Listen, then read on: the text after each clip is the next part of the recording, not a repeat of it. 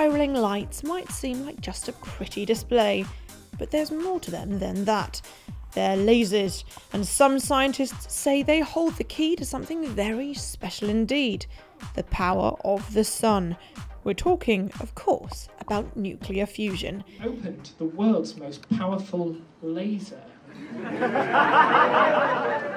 Imperial College's Dr. Arthur Turrell is one of those scientists.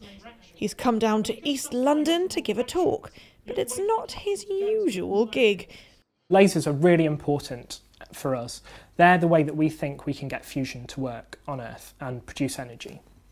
And that's because lasers have a really kind of magical property, which is that we can put energy into light in the form of laser beams, and we can then deliver that energy very precisely, both in space and also in time as well. So what we're doing is we're loading all of this energy into the laser beams, we're delivering it to a tiny target just about two millimeters across, and um, for that tiny fraction of a second, we're reproducing these conditions, the fusion reactions will go, and we'll extract the energy, in, in principle, in a working reactor. Uh, He's been invited by a group who want to mash up science with art, bringing it to a whole new audience.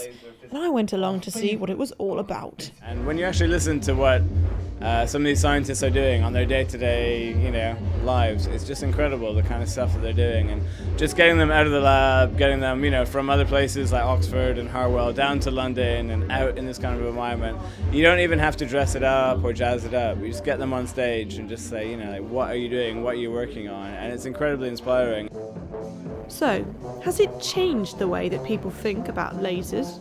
Before, I guess I just kind of played with lasers and had fun with them, but I didn't actually realise the deeper scientific implications that lasers have. So it's quite nice to know that I'm literally playing with things that could potentially change the world.